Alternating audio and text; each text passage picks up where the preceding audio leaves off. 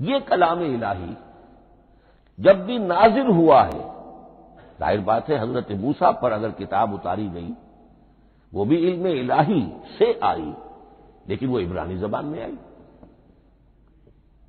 हज़रत ईसा सलाम पर इंजील उतारी गई, हम यकीन से नहीं कह सकते, दो में से किसी एक जबान में उतारी गई होगी, या इब्रानी होगी। इसलिए कि शाम के जिस इलाके में, फिलिस्तीन के जिस इलाके में उनकी पैदाइश हुई और जहाँ वो दावत व तबलीग के लिए घूमते रहे। उसके अवाम की जबान थी आरामी और खवास की जबान थी इब्रानी, हब्री। तो या तो वो भी तौरात की तरह इब्रानी ही में नाजिल हुई थी या आरामी में होगी, लेकिन अब कोई नुस्खा ना हैब्रिव का, कोई कदीम नुस्खा दुनिया में मौजूद है, ना आरामी का। जो सबसे पुराना नुस्खा मिलता है इंजील का, वो उसका तर्जुमा है। लैटिन जबान का तर्जुमा है या ग्रीक तर्जुमा है, असल कोई नहीं।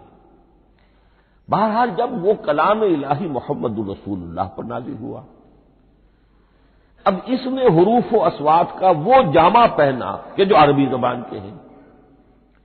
यही वजह देखिए मैंने जो आयत सूरह हामीम ये जो सिलसिला सोवर है, उसमें से सूरह जुखरुफ की आयत जो मैंने आपको सुनाई, हामीम वल किताबिल मुबीन इन्ना जाल ना हो कुरान अरबी अल्लाकुम ताकिरून हमने बना दिया है अपने इस कलाम को कुरान अरबी।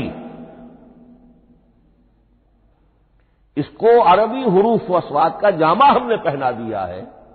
इन्ना जालना हो कुरान अरबी लकुम ताकिलून कि चूँकि मुखातब अव्वल जो कौम थी उम्मीदीन उनकी जबान अरबी थी लाल लकुम ताकिलून, ताकि तुम उसको समझ सको।